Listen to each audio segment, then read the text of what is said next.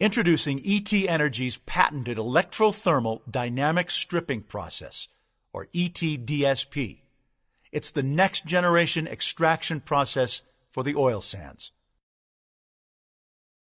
Until now, oil sands deposits have been commercially extracted through mining and steam assisted processes. Mining uses extremely large and expensive trucks and shovels to remove the earth overburden and extract the bitumen. However, there are a number of environmental issues associated with that process. Steam assisted processes are used for deeper deposits, but they too have a number of cost and environmental challenges. ETDSP is not only an ideal replacement for mining and intermediate depth SAGD, but can also produce reservoirs that are not currently considered economically or technically recoverable. The ETDSP process starts as a rig drills vertical well bores to the bottom of a reservoir.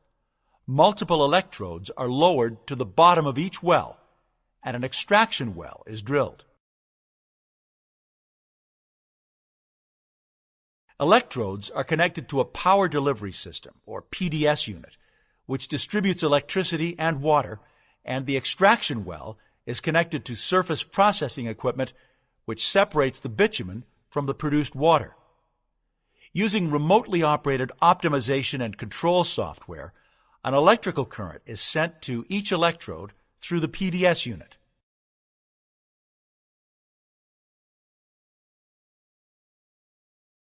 System control software optimizes the delivery of current to each electrode.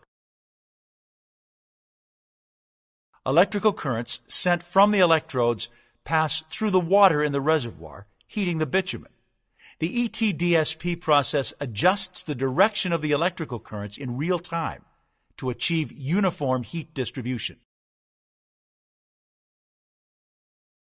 The reservoir reaches peak temperatures within a few months and production begins.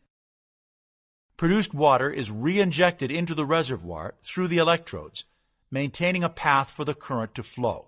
Produced bitumen is sand and emulsion free, requiring very little processing before being sold. A high rate of recovery is achieved within one year of commencing heating. The process is complete and surface reclamation can begin. Facilities are relatively simple and compact, and much of the equipment can be reused. The production area is then restored with boreal trees and other naturally occurring vegetation.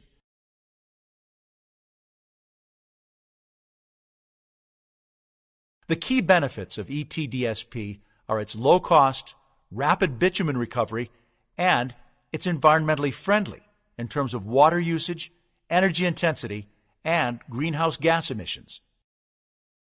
Given the challenges facing existing commercial oil sands extraction, ET Energy is set to redefine the industry around one of our most important resources.